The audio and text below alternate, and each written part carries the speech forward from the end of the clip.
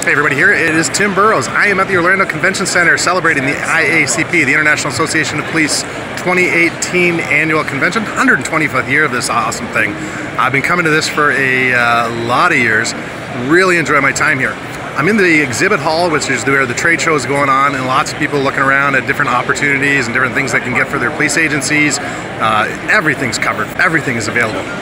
So I'm speaking with one of the vendors and I was uh, a chief that overheard what we were discussing, and he asked about social media. He asked what I did, and I explained teaching law enforcement agencies how to connect better with their communities, saving time and money by regular little, this is what I do. In the end, what I try to do is I try to make police agencies change the lives of their communities for the better. Fast forward to the end of the conversation. He says, Well, you know, I really wouldn't have much need for your services. We have a really good social media program.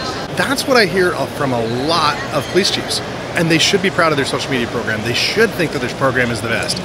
But you've really got to get an outside opinion and an outside look. I took about 10 minutes after we spoke and I took a look at their social media program, and it's not good. The reality is, it is not a good social media program. It is not a good outreach. They are not community building.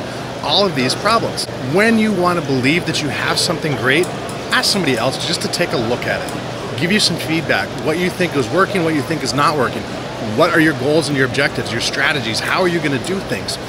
One of the themes that I've seen so much this weekend is that their social media is their strategy. It's not the case. Social media is not a strategy. Social media is a tool to help implement your greater strategy. In this case, it's probably going to be your communication strategy, but that breaks down into so many other opportunities, so many different ways. Please get somebody else to take a look at your social media program before you go out and say that it's a great program. Because as long as you think your program is great, it's never going to be improved. And if you don't improve your basic communication outreach, how are you going to improve the quality of lives of the people in your community through education, information, and relationship building?